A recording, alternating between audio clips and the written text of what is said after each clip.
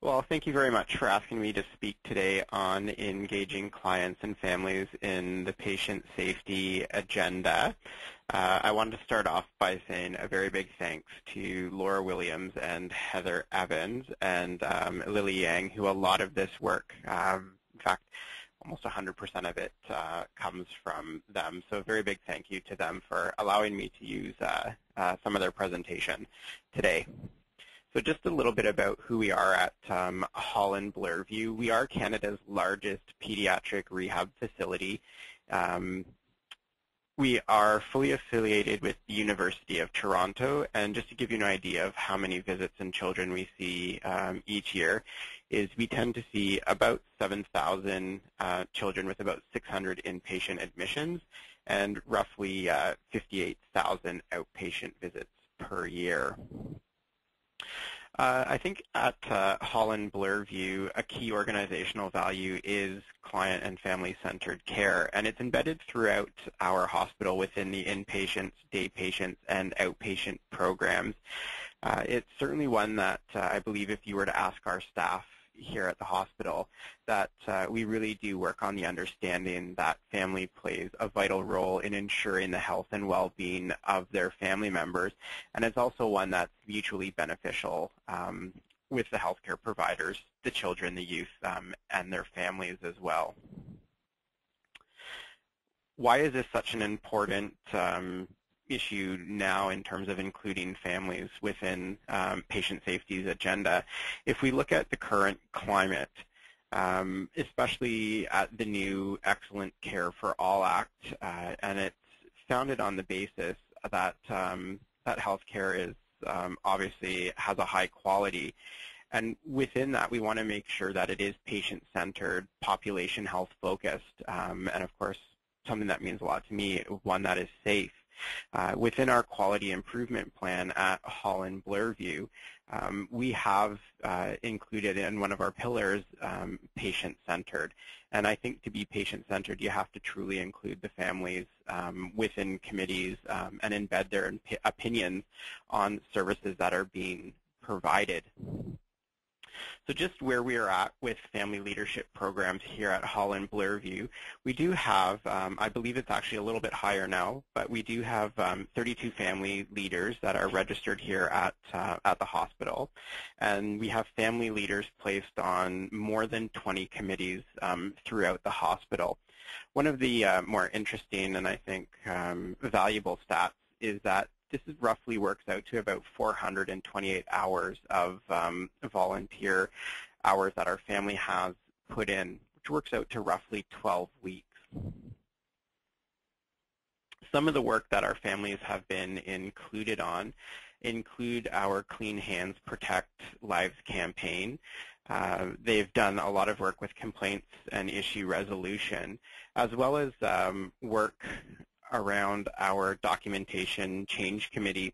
And this is a committee that I'm a part of as well. And it was really interesting at uh, our last committee meeting. We had a family member sitting in with us that actually came with, um, with uh, a background in banking.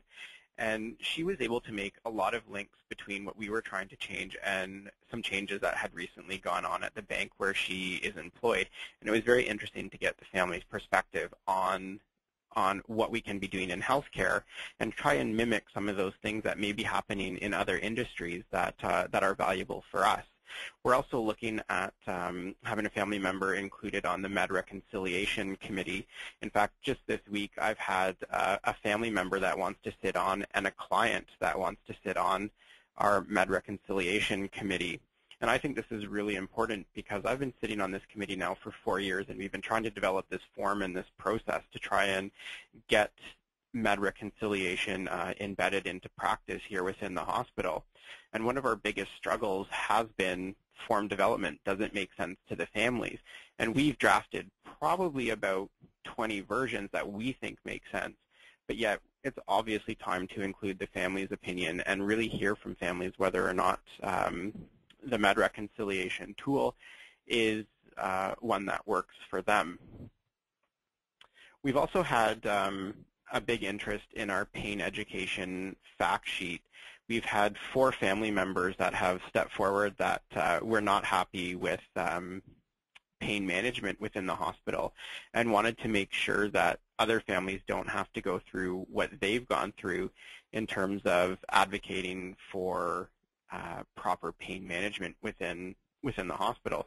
So they've come forward and now are going to be working with our pain steering committee uh, to develop a pain education fact sheet, which is invaluable for us here at the hospital to get that opinion from what families are looking for. In terms of um, of implementing family leadership within the hospital, from a staff perspective, we obviously need the support of senior leadership and also wanted to formalize practice related to family engagement. We didn't want to haphazardly just put family members onto committees. So with this, this was something that Laura Williams had taken a big role in, in terms of screening families and interviewing families and talking to committees on how families would fit in, um, having family members call the chairs of the committees or a representative from the committees to ensure that, that families were the right fit. Uh, we do try to look for a minimum of two family advisors per, com uh, per committee and also allow, allow for multiple methods of engagement while on um, the committees. So how does the family member fit in? What's going to be their role within the committee? Uh, we also want to look at transparency while the family is sitting on the committee, and I'll talk about that a little bit later when we look at some of the concerns from, from uh, staff members of having family members on committee. But we do know that transparency um, really is essential for creating an environment of trust. And we do know that the perfect time is to engage families um, is right now. So some of the concerns and questions from staff at the committee level included privacy and confidentiality. So what information can be shared? Uh, it really I think, forced us to really look at how we're presenting information. Um, we obviously should be looking to protect client identity and client information um, at all times, regardless of whether family members are there or not. So it, it kind of changed the way we look at the way we present our information at committee member at uh, committee meetings. Um, how do we know if we have the right fit um, with the family? And that comes out from each committee meeting, and I haven't heard of any family members dropping off of committees, um, and I haven't heard of any staff asking to have a family member taken off of a committee for any reason. Um, another concern was what if the family is just there to complain about an issue? Uh, again, like I had mentioned before about the work that Laura puts into um, placing the family members on the committee, um, it's a joint relationship. So um, I've, I've never been at a committee meeting where a family member has, has just complained about a specific issue. Um, I found that uh, they come with a very objective opinion as to what it is in the hospital that families are looking for. And can family members provide insight without expertise? Uh, and I mean, from what I've seen at the, the committees that I sit on, um, absolutely. Uh, in fact, sometimes I would even recommend it because it's a fresh look at something that we maybe have been dealing with for years and not been able to solve certain issues or move forward with certain initiatives. And sometimes it is that family member that comes, for example, um, at the change document, the documentation change committee, um, having somebody coming in from a bank uh, with the bank expertise and saying, have we thought about this, actually provides a lot of insight for, for us in healthcare. Um, and then what about including clients on the committee? So we've already taken this to the next to the next level, and it's not just family members. It's actually what about having some children sit on on the committees? And we've actually had some children say that they want to be included, um, which actually just happened this week for me. That a child wants to sit on our Med Reconciliation Committee, which I think is is fantastic. So from the family perspective, how can we best support our families in committee work? Uh, one of the big things that we can do is provide documentation in advance to those families so they can come prepared. I mean, we know as staff members we don't like to show up to meetings unprepared, and we should be providing the same respect to our family members and ensuring that they have the agenda and any attachments or um, any anything that needs to be read beforehand. Um, introduce who is at the committee and explain their role. That's one of the biggest things that we have to remember is that the family members may not know who we are and what we do within the hospital. So it is important to do those introductions and make sure that the family member feels welcomed into the committee. Uh, we want to ensure that the family voice is recognized uh, and valued as a part of the team. So it's not sort of, you know, you talk to everybody and then ask the family member at the very end, do you have anything you want to add? Um, we want them to feel comfortable voicing their opinions within the meetings. Um, obviously, follow up and provide feedback um, is important, and actually a lot of our family members seek feedback. Uh, we'll, we'll, we'll, say things like, how did I do? Is that okay? Did I say the right thing? Did I say the wrong thing? Um, I've always kind of been in the frame of mind you can't really say um, the wrong thing. It just makes us think maybe a different way.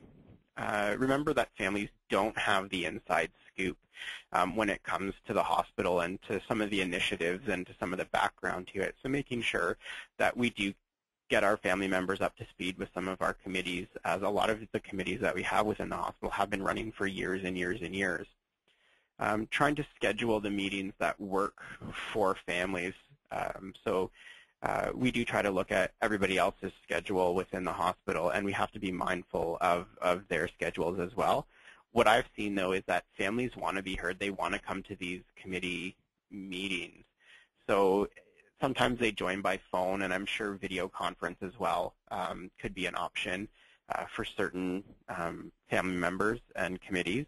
Uh, we obviously want to provide training for the for the family members as it actually may be a brand new experience for them to sit on a committee. They may have no experience of sitting down um, at a table with a group of, of people and having these meaningful discussions around practice improvements or whatever the committee's um, mandate is. And we want to remove any barriers to participation. So once the family member is on the committee, looking at how we can engage them fully within that committee. So these were some of the quotes that I was reading actually while I was preparing this presentation that I thought uh, I feel bad for these guys. Um, the first one is there's no reason why anyone would want to have a computer in their home and that was uh, said by the founder of Digital Equipment Corp in 1977. So if only obviously knows what's going on now with uh, home computers. And people will get tired of staring into a plywood box every night. Um, that was said by the head of 20th Century Fox in 1946, and we know what people do with their time in the evenings nowadays. So I just think in the not-so-distant future for healthcare, um, I certainly wouldn't want to be attached um, to a quote like, families have no place providing input into the care or service they receive in healthcare. Um, if anybody has any questions or comments, uh, they can certainly feel free to um, email me or call me, and I would be happy to provide more information on what we're doing here at Holland Bloorview. Thank you. Thanks, Nick. That is really very helpful, and I especially zeroed in on, uh, on some of those uh, best practices or tips on um, on how to make this a success for involving patients or clients and, and, their families. And we'll get back to asking a few questions of your presentation towards the end. If people are listening and just jotting them down, we'll have the Q&A section sort of uh, as we uh, after we hear Hope and Heather's presentation just now.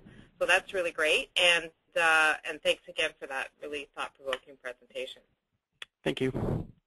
So at this point, I'm going to turn over the presentation control to Heather McCready and Hope Chick from the Stollery Children's Hospital in Alberta.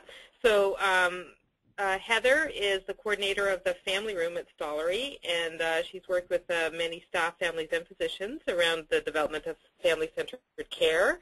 Um, and Hope is a clinical nurse specialist, also at the Stollery, and her focus is on quality improvement and patient safety. And key to this role is the opportunity to work with families to ensure their voice and experience are reflected in that work that she does. So um, over to you, Hope and Heather. Great. Thanks very much. Um, this is Heather speaking, and we're going to be going back and forth in our presentation between myself and Hope. So um, I'm just going to give a quick background about um, how our family-centered care network came to be. Uh, about two and a half years ago, the Stollery embarked on a formal commitment to family-centered care as one of the strategic priorities of the hospital. And since that time, I sort of call it an organic journey of engaging families because it's really grown over these past two years. And we've really um, been intentional about engaging families in the operations of the hospital, as well as looking at how can we grow in our skills and approaches in engaging family members as part of the healthcare team right at the bedside care. We now have, a, a as you see in the diagram, a sort of an umbrella model of our family-centered care network. And we have over 150 members in that network, and that includes staff, families, senior leadership, and physicians. And uh, about 70 or 70 plus people are family members on that network. So there's three important components to the network, the Family-Centered Care Council, an NICU Family Advisory Care Team, which is a unit-specific group, and then family and staff members who are actively contributing from the sort of the umbrella network. This model seems to be sustainable, although we're still fairly early in our journey.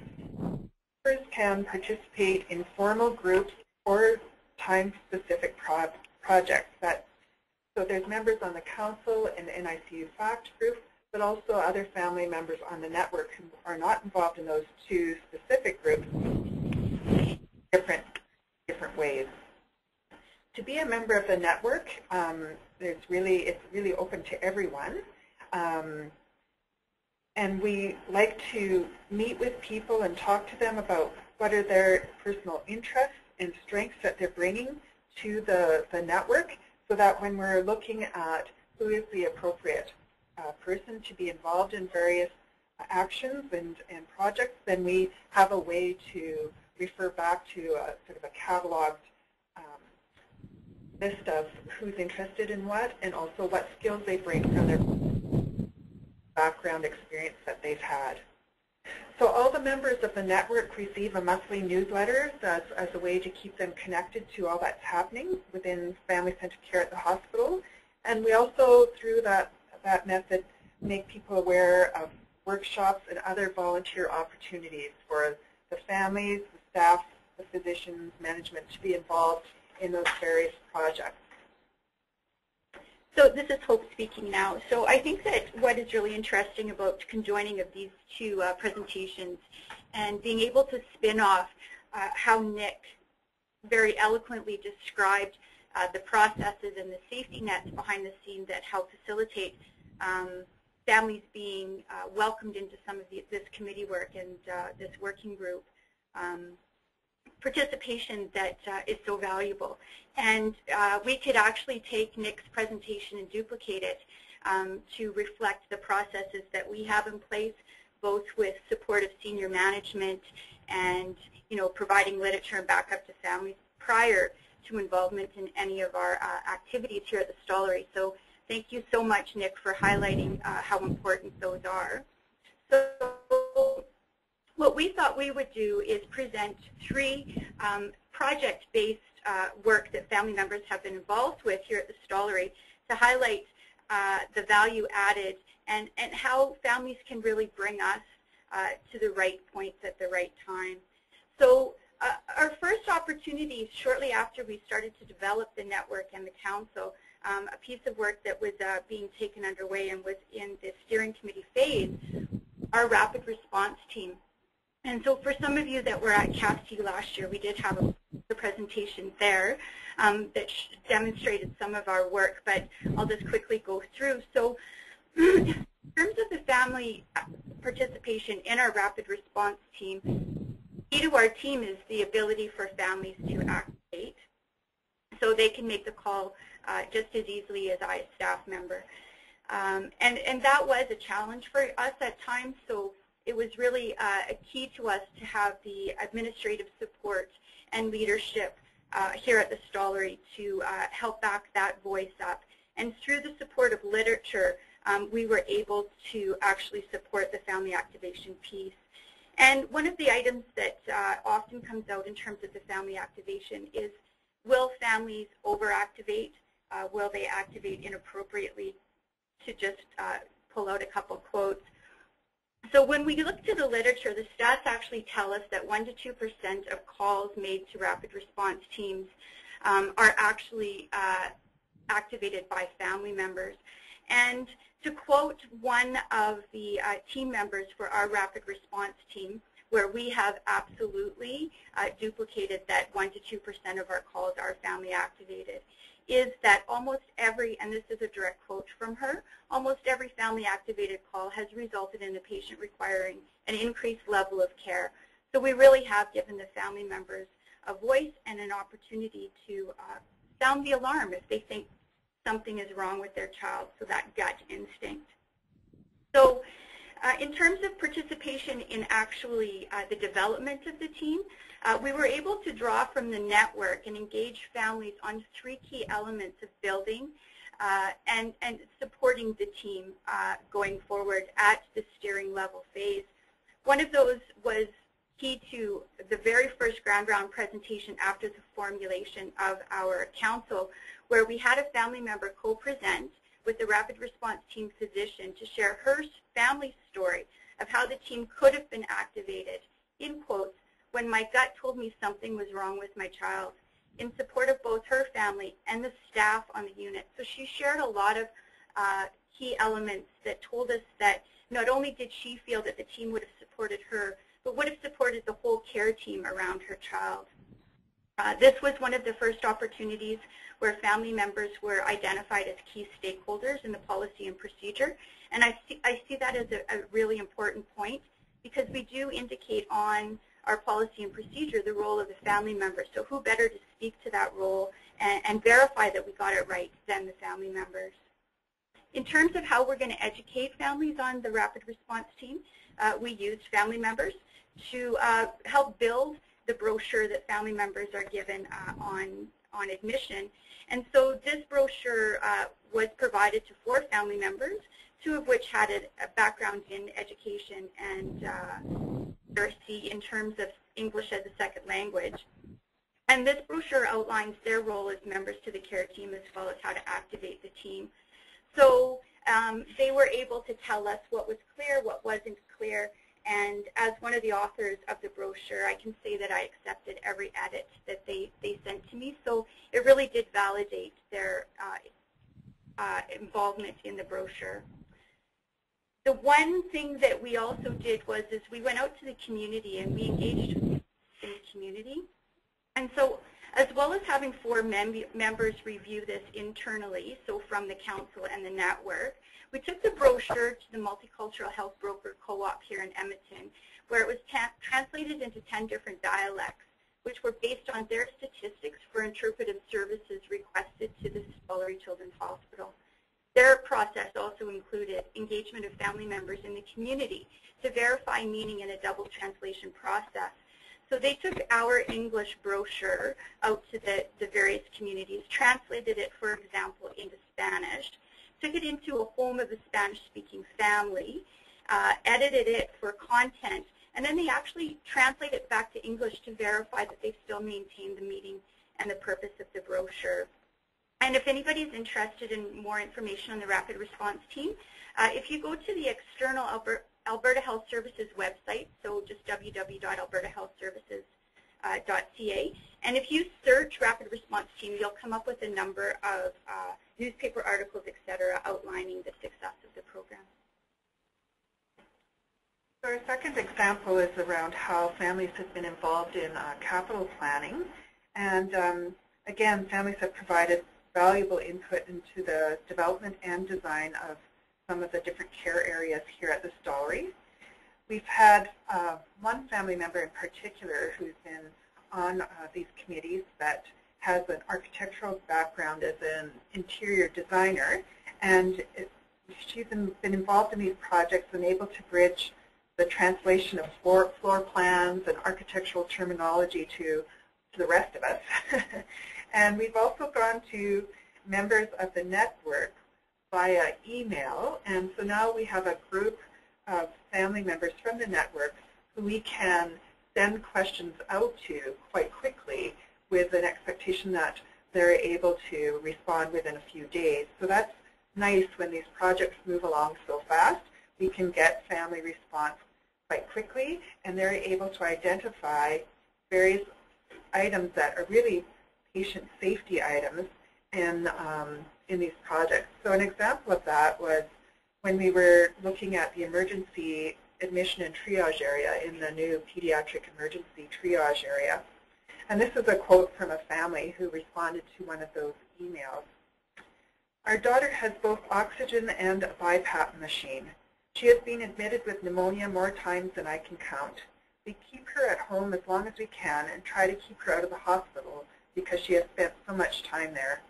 In order to bring her to the hospital, we have installed a power inverter into our van and must run the BiPAP and bring oxygen, or run our concentrator.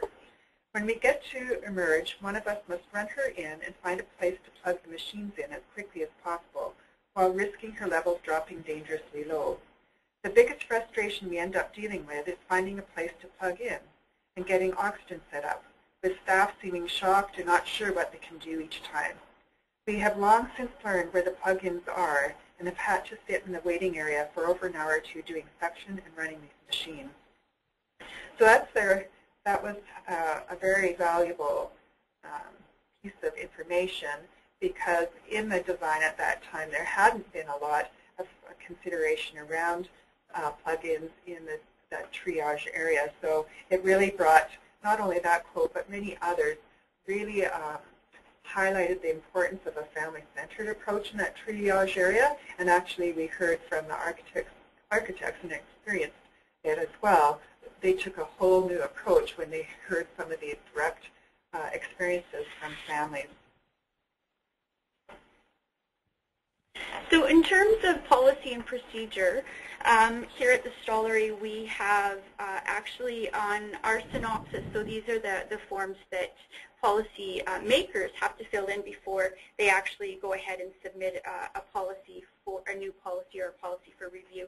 Family members are actually a standing stakeholder uh, on those initial forms. So from the very beginning of the policy and procedure process, we're actually highlighting the importance of using family members as stakeholders. So to date, family members have contributed as key stakeholders on at least six policies and procedure reviews. An example that stands out where family involvement changed the whole document was the NIC visitor policy. So through their involvement uh, in this work, it changed the tone from what you can do, cannot do, to welcome to our unit.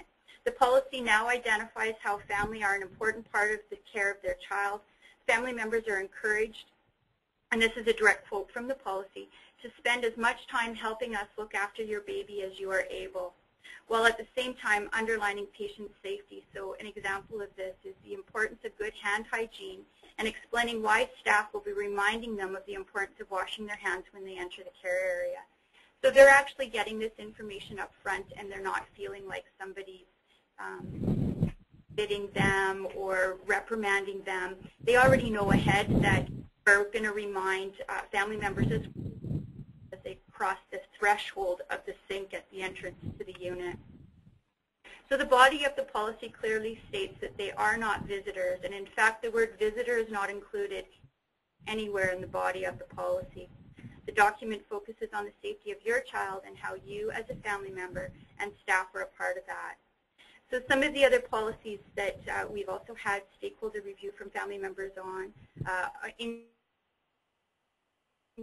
include the ambulatory care um, operating room booking policy, the rapid response team, the NICU visitation policy, which I, am guessing we should actually change the name of that because they did that for us.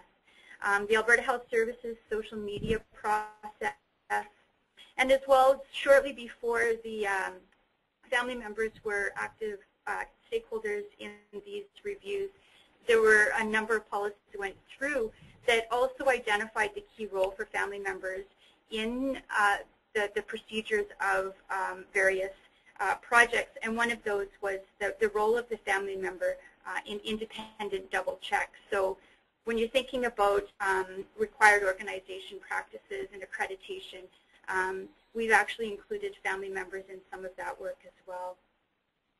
Uh, so, yeah, so I'll pass it back to Heather.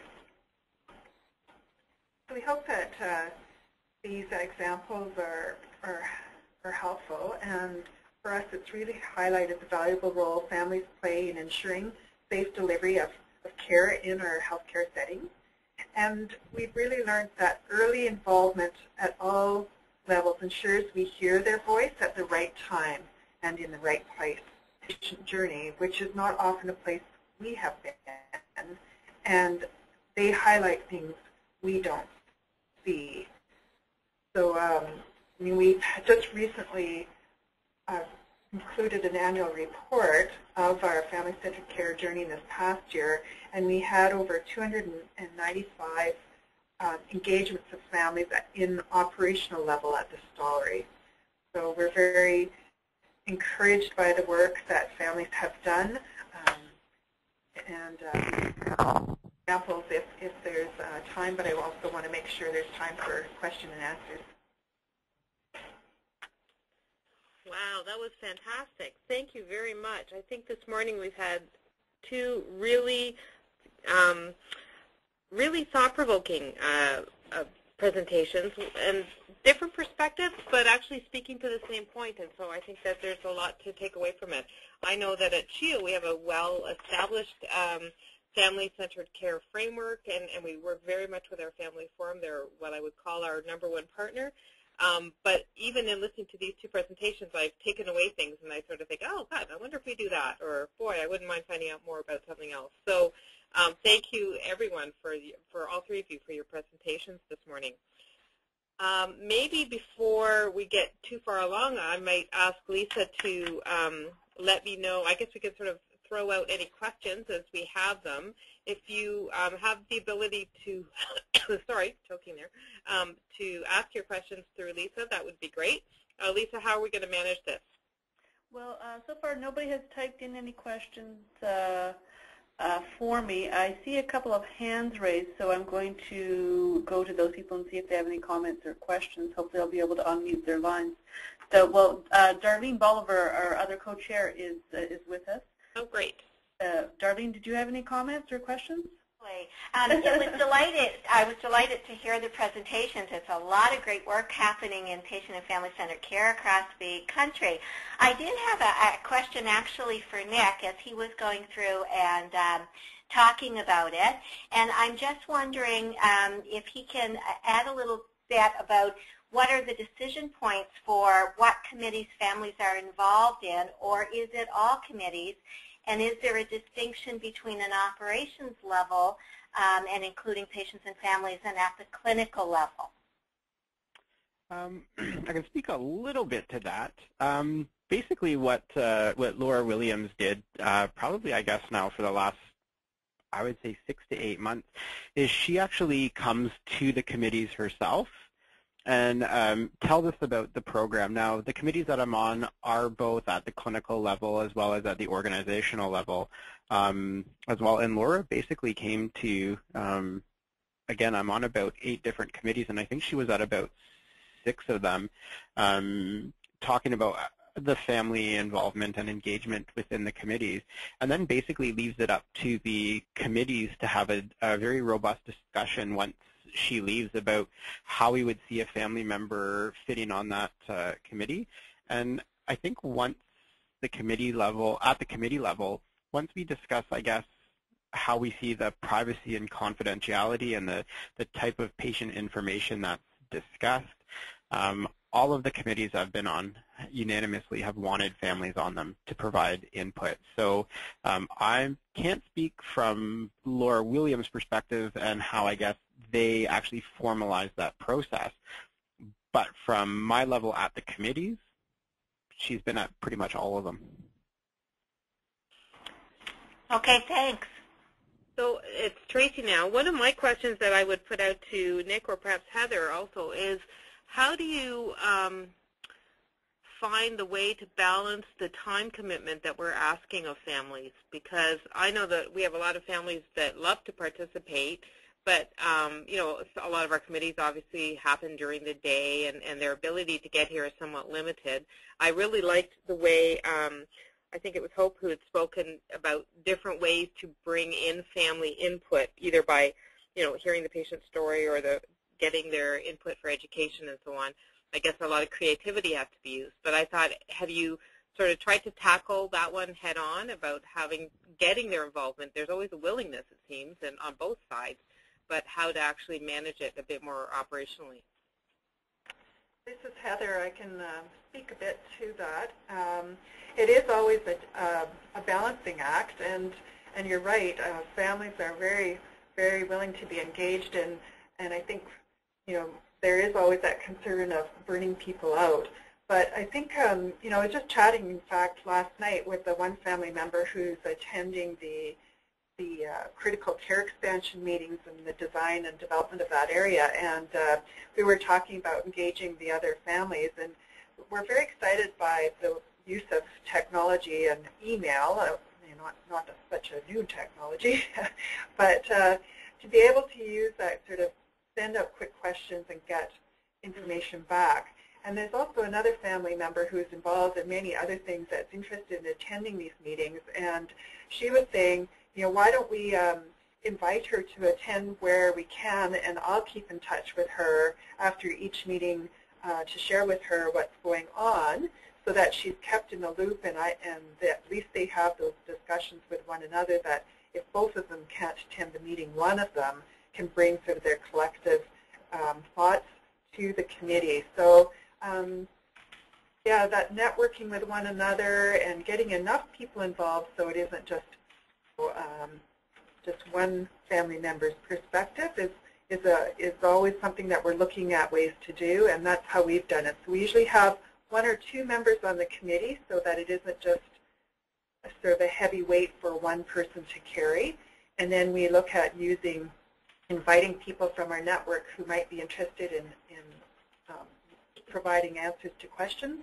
And then we also at key points will take things to the council so that we have at least three ways to get input. Great. Nick, did you have any thoughts on that question? Uh, you know what? We look to have uh, to have two family members on each of the committees um, as well. I mean, I think we're at the point in healthcare where families want to be heard. Families want their opinions to be taken seriously.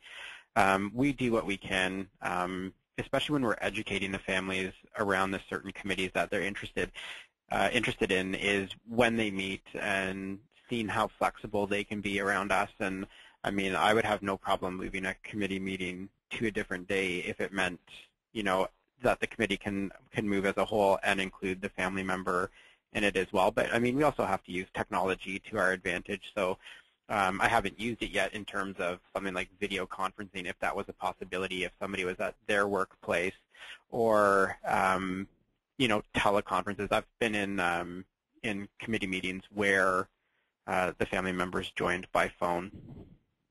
Great. Um, sorry, it's Hope. Can I oh, yeah. spin off of that, just what Nick was just saying? And I think that um, we are actually using telehealth. It's funny that he brought that up, so teleconferencing. So one of the co-chairs for our Family-Centered Care Council um, actually lives about an hour and a half, two hours away, depending on the season.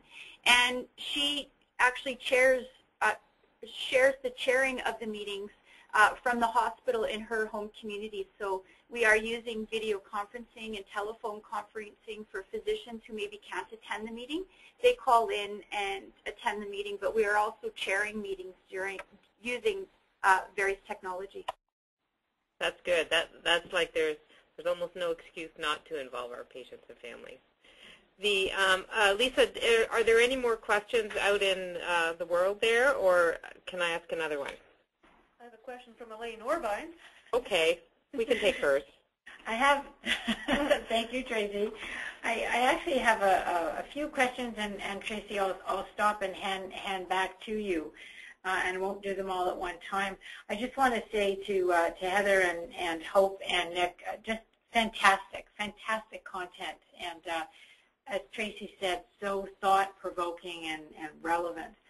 Um, specific to, to Heather and, and Hope, your presentation, what just as a comment, very impressive in terms of a statistic that I, I think you said that of your 150 members um, of, of, of the sort of family-centered uh, family council, uh, 70 are families, and and the balance were sort of makeup of, of different different staff uh, staff members. Is is that correct? That a, am I quoting that correctly? Yes, in our family-centered care network, that's correct. Yeah, we have 150 members, and 70 family members are uh, on that network.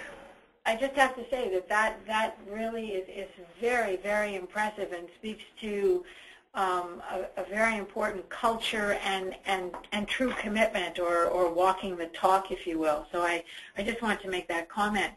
I'm wondering, and, and I put this out to, um, uh, to Heather, Hope, and, and to Nick. Um, we've, we've heard very clearly the success stories and this is so important to everyone online and, and I'm going to say to CAPHC's entire um, community from coast to coast to coast. But can you talk a little bit about, you know, maybe just think about one or two examples of where you had some real challenges that, that you obviously have overcome and maybe speak to how um, you how how you in fact resolve those issues because I'm certain that it's been a learning and a and a journey along you know uh, for for a number of years.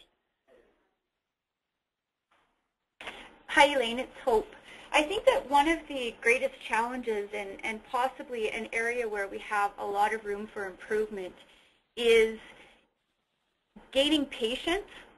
Um, and in saying that, what I mean is that we're working on an agenda and a timetable and a deadline, and oftentimes I find myself quite pressured in allowing for time.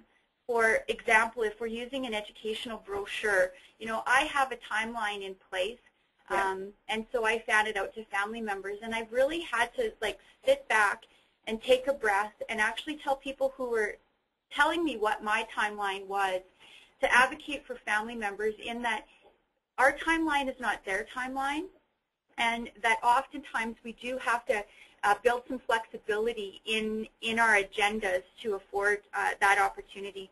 And I do think another uh, area that we, we need to work on and some build some greater understanding is that um, our agendas are quite task focused. So when we invite family members, um, I think that preparation of family members to be able to see that an agenda is an agenda and we're going to follow the agenda, and to improve our hosting skills in terms of we as staff members who have a set agenda um, and now have family members who come in who also bring you know, their family-centeredness and their family voice to these agenda.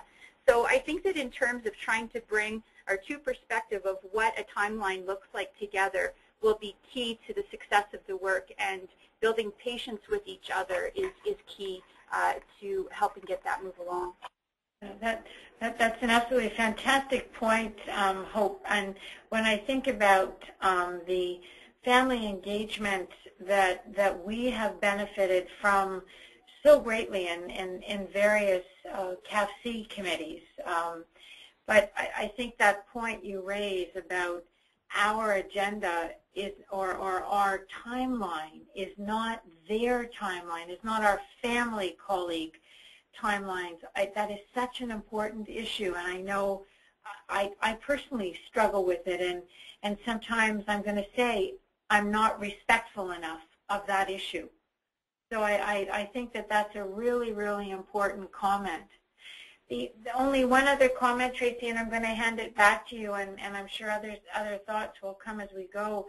I, I was also um, really intrigued. Um, I, I, believe it was Heather and Hope who mentioned your entanglement policy. And it's sort of a question and comment I wanted to make. Um, back in, in the, the, reason that we are all on this telephone and webinar together today um, really stems back to 2003 when it was the Stollery um, Children's Hospital that shared with CAPHC's community a very openness and transparent sharing of a of a of a very of a very of a terrible tragedy uh, around an IV strangulation of a little boy, and this happened back in 2000.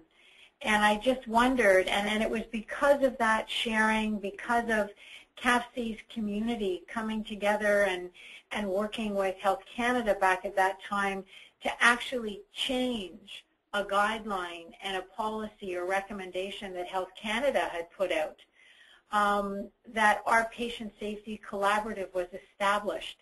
And I'm just wondering if that entanglement policy dates that far back to sort of 2002, 3, or, or is that a, um, something that, that's newer? So that entanglement policy that I'm speaking to actually, uh, it, it's up for timely review. So it's looking at the policy that was deli delivered at the time frame that you're speaking to. Okay. And now just um, doing a, a, a, a, timely review of the material and the best practice and inviting family members in on that review so that they understand the importance of the work that's been done um, over the last, I guess, 11 years, if you will, um, around providing safety measures for infants who uh, actually do have a number of lines coming off of them, not necessarily IV lines, feeding tube lines, monitoring yeah. lines, etc. Uh, other, other, other, uh, other, uh, um, you know, device. Absolutely. absolutely. Correct. So just a timely review. Yeah. Okay. That's that. That's excellent, and it's really it. It, it was just. It was. I'm going to say very important to hear to hear that particular piece. Okay. So I have a, a question here. Um, there's people that might want to uh, contact uh, you, Hope, Heather, and Nick uh, directly. Um, is it okay if I share your email with them? Absolutely. Yeah, you're good to go with Hope and Heather's email. That's fine. Thank you. Yeah, not a problem. Great. Thank Nick, you. Nick, did you want to make a quick comment on, on any sort of challenges that, that come to mind from Holland Bloorview's experience? Um, you know what? I think, I mean, from, my, again, my perspective, Laura may have a very different perspective because she does a phenomenal job in um, interviewing the families and screening the families and really placing the families within the best um, committees suited to what their interests and their needs are and what the committee's interests and needs are. Um, the one thing that, uh, I, again, has been the biggest barrier, I think, from the committee level is really looking at that privacy and confidentiality issue. Um, we're a very small hospital. It's not too hard if we're discussing medication um, incidents. Um, we only have, you know, a couple of actual incidents a, a month, um, and sometimes not even. Uh, it's really not hard to figure out who that uh, child or family was that something had happened to. So really trying to be creative with how we're sharing results around things. Um, whereas before the family members were on the committee, I think um, we talked a little bit more freely. Um, we could use like initials when we were discussing, but that's all come to uh, to a stop now, and really starting to look at say medication incidents um, by their actual um, incident report number, as opposed to initials and names, and trying to be creative um, around that. But again, families want to be heard, so they are coming out to the committee meetings. Excellent, excellent.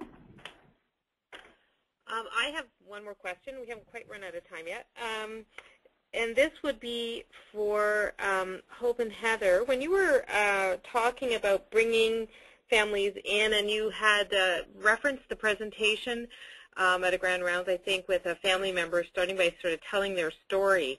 And that is one that can be a challenge for some organizations on how to um, approach families to tell their story uh, or just to um, to even think about how to incorporate the story. And yet the patient's or the family story is so impactful. We had a, family member, we made the, the topic of our uh, board retreat was quality and patient safety last year, and we started it off by having a family member talk about his experience. And he had a lot of experience with CHEO over a great number of years. And so I'll tell you, that patient story put any number of PowerPoints to shame. Like really, he basically told us all we really needed to hear. So I'm just really keen to see that you've actually done something similar, and I wonder how um, what how difficult that might have been to put in place, or if you've uh, found you've ever had any challenges with trying to involve the family to tell their story. Hi, this is Heather. Um, this is one of the areas we've had really great success in, and um, one of the family members who we've contracted with has a great skill in coaching, I guess, families. And, and actually, you know, it's really amazing um, the skills that most of these families that, that have come forward saying they'd like to be able to share their story. I think the key thing is two pieces. Well, there's probably many pieces, but two that come to mind right now that are key. One is for the requesting staff or physician or whoever's hosting the rounds or the conference to really define what are the learning goals they want from that presentation. And then when we then approach the family member, they have a, um, you know, they have something to sort of work around because everyone's family story is huge and, and all of it is important and powerful, but how can we bring it um, to focus on key messages? And so that's what we, we do, that's the support we provide for the families is, is tell us your whole story, but then if these are the key kind of learning goals, how can we uh, focus your experience around that? And um, the other thing we really like to do is be able to co-present with a staff or physician with, with the family member. So in this instance with the rapid response team, um, we met, we had the family member meet the physician and one of the clinical nurse specialists. Oh, are you there? We lost you, Hope. Oh. Oh, dear. Well, that's disappointing. Yeah. Okay, well, for everybody else that's listening online, if um, Hope realizes, or Heather rather, realizes that she's not being heard and can dial in, we'll certainly let her finish that. But I think her her certain uh, certainly I think her two main points that she was getting at was um, to co-present and have an opportunity to work with the clinician on the presentation, um, and then certainly and and understanding the goals of the presentation, and then having some uh, uh, even internal support with families around uh, supporting how that coaching might actually happen, um, maybe with somebody who's already presented their story before. So it's kind of an interesting angle, but I think one that in the patient safety forum is just it has so much uh, ability to have impact that it's one that we should consider trying to find ways to facilitate and to do it more often.